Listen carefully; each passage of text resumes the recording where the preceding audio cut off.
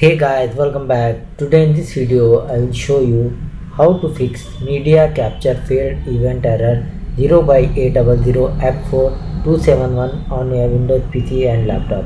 So for this guys, first method, you just go to start and open the settings.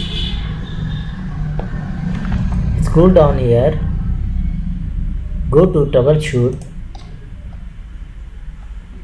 and select the other troubleshooters. Find here guys camera option. So as you can see here, you click on run and wait for complete this process.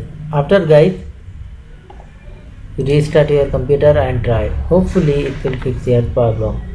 And the second method is you update your camera driver. Right click on start and go to device manager. Go to device manager. Find here guys camera driver.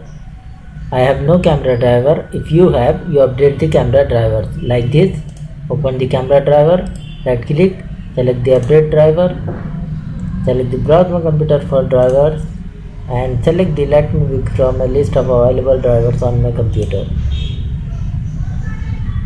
Select the driver and click on next. So like this guys you update your camera driver after once again restart your computer and try. Hopefully guys this time it will fix your problem. And the method number three go to start and open the settings.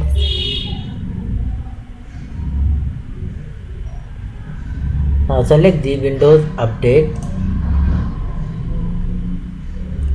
In the right side top in the top right side you can see here guys check for updates. Click here